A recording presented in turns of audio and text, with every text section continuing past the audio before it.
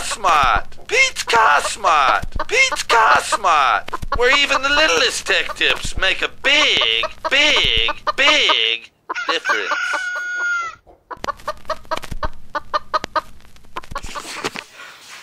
All right, come on over here. We got a DIY video to make. Okay? Can you, All right, get that can out you of be my a camera face. girl today? I guess so, Pete. Why are you being grouchy to me? Huh? I want to get. Now look, now your head's to the camera again. We ain't done anything all Yeah, we have. day. You got everything ready to prime. Before we prime it, we got to show everybody how to prep it for primer if you've been doing body work on it off and on for three years. You can't just throw it in there and prime it. What's going to happen? I'm sure you have other. What's going to happen though? Hold on. Whoa, whoa, whoa. What's going to happen if I you do know. that? I have no idea. Can I tell you what's going to happen? What? The primer will not stick properly and you're going to screw your paint job up. Let's go in the paint booth so I can show everybody and explain to them what we're talking about. Go for it. And don't use the camera like an amateur. You know how to be a cam. I'm serious. This is not a joke video. This isn't a clown clock time here. This is DIY. Where is the clown clock? I haven't seen the clown clock in a while. We should bring it out. Yeah, we're going to bring it out since you're here. Clown 214 972.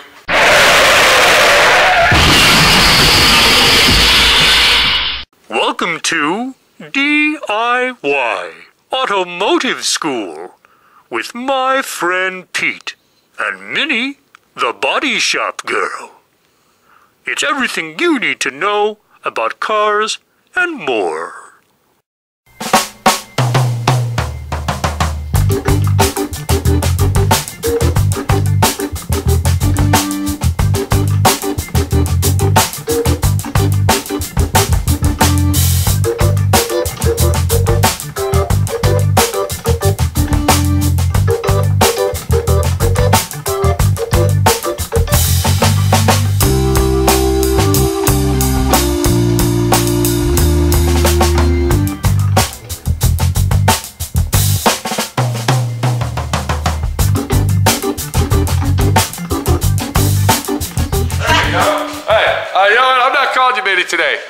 972. All right? Your number 972. I'm 214. No, you're 972. 369. No, you're 972. 303. 501. 2759. All right.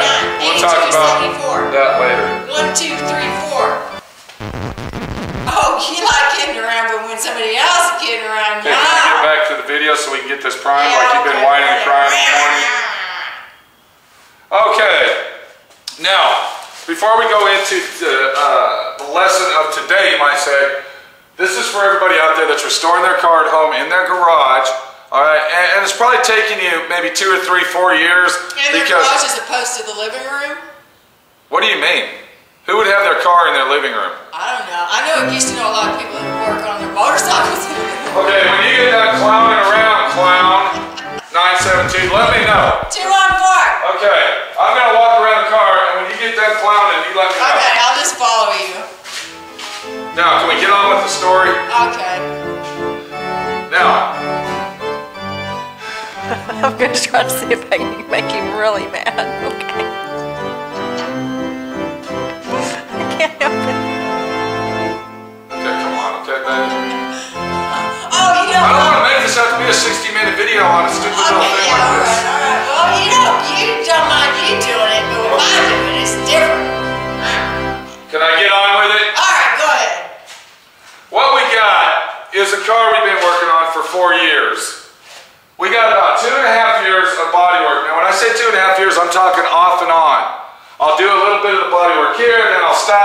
something else and I'll come back. Well, we finally got all the body work done. And as you can see, if Minnie can bring the camera down there and kind of get a good gander at it, there's a lot of body work on this car. Now, it's not real heavy body work except for back here where I had to replace the quarter panels. And if you look at this quarter panel here, I'm down here, baby. I just Stand I just, back there, stand back there. We're I gonna- just walked through the whole fucking. but we're gonna cut. This is a cut and splice edit deal. If you look at the quarter panel here, do you see it? Now come over here.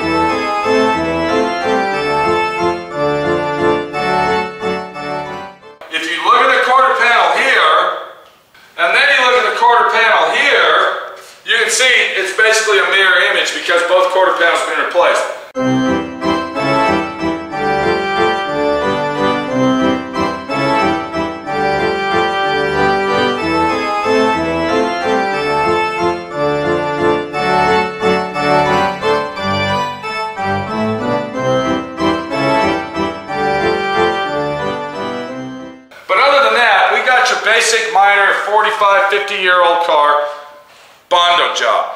And when I say Bondo job, I'm talking hammer and dolling the dents out the best you can and then doing the body work. So what we got here is we got a car that we've been doing body work on, possibly like you, okay?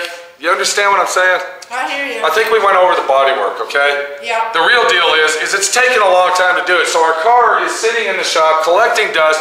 We're over here doing this to it and touching it and, you know, opening the doors and showing all our buddies that come over and say, oh, look at this right here. And by the time you do all that, after two or three years, what happens? Grease and stuff. Grease and slime and everything gets on the Bondo and our metal work and or epoxy primer. This is epoxy primer. I sealed the car after I stripped it to bare metal to seal it. And then after a couple of years of doing this, we've come back with a DA with 180 or uh, 220 and we've sanded it down for our filler primer, which is 2K. Now what you want to do to prep it up for primer after two or three years of jerking off with it, this wouldn't be a job. I mean, you can do this, you know, after you, if, if you were a guy that was going to work on your car and just nonstop get it done and you have it done in a month or so, you would still want to do this. Now see, you got me pissed off now. I don't even know what the fuck I'm talking about here. Thank you. Thank you. You're talking about cleaning off the Yes, yes. before you So spray. what we have right here in the bottle is what? Rubbing alcohol, plain and simple. Thank you, clown. Rubbing alcohol. That's right. Thank you, Clown 972. 214. If I remember back uh, about a year and a half ago, you specifically got furiously pissed off when I explained what the clown clock was, and you slammed the door in my face, and you almost took my clown clock, threw it on the floor, and said, I ain't no fucking clown, but today you want to be. I'm gonna try to see if I can make him really mad. Okay. Is that what you're telling me?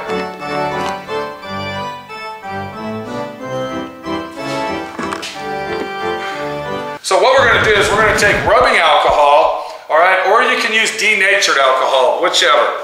You're going to go ahead and saturate your rag with it. When I say rag, I'm talking about a what, Minnie? Wide ball, specifically made for paint use only. That's right, You it's can a tack-free- only buy these cloths at That's the right, it's a lint- automotive paint store. Okay? It's a lint-free, tack-free, wipe all towel, okay? And what you want to do is just basically wipe it off. You're going to go ahead and you're even going to wipe the Bondo because that is where we're really counting on getting it clean from the Bondo, collecting all the dust and all of the grease and slime. Look right here. Watch this right here. Oh, I'm sorry. Look at that. Do you see what I'm saying? Do you see that black stuff that was right there? I just got it off, okay?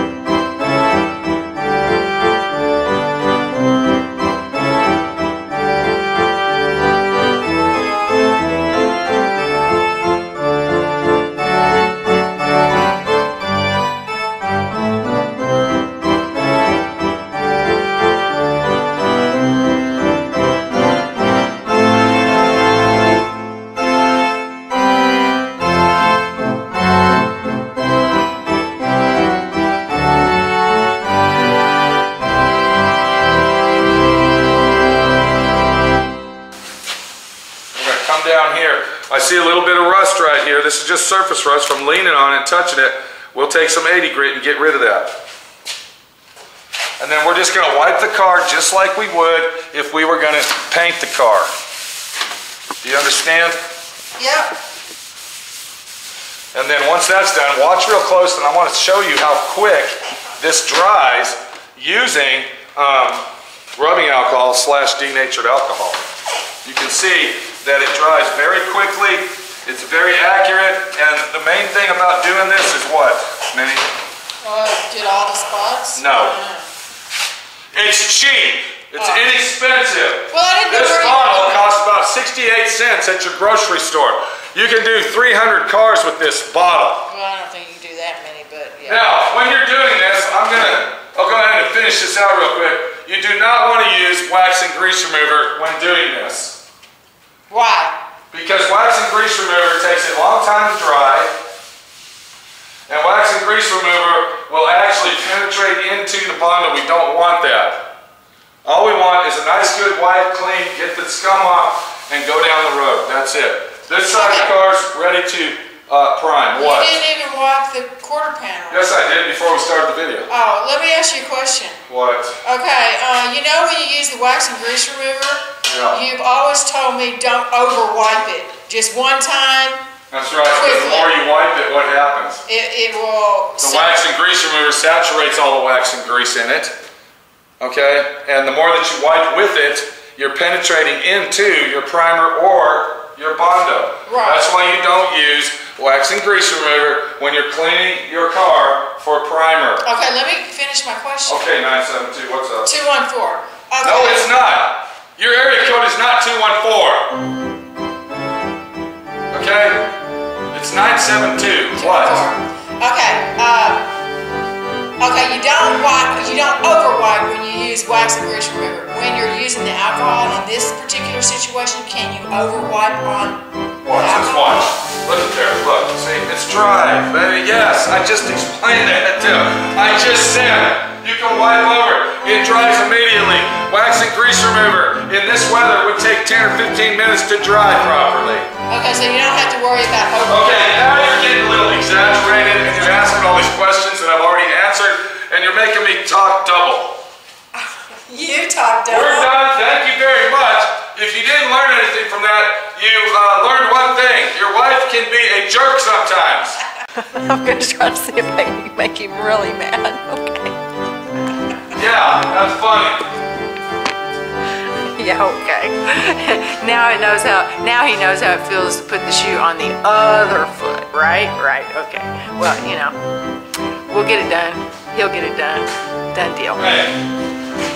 All right, put the camera down. Okay, you put the camera down now. Okay, we're done talking. Goodbye. All right, see you later. Go. Weren't you doing something like sweeping floors? Give me the camera. Jeez, baby. Hey, I was just trying to do it professionally. Yeah.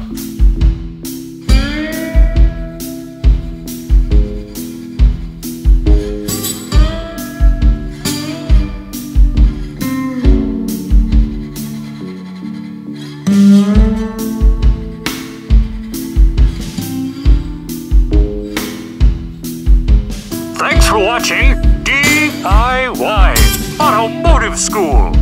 Classes don't stop till you know everything.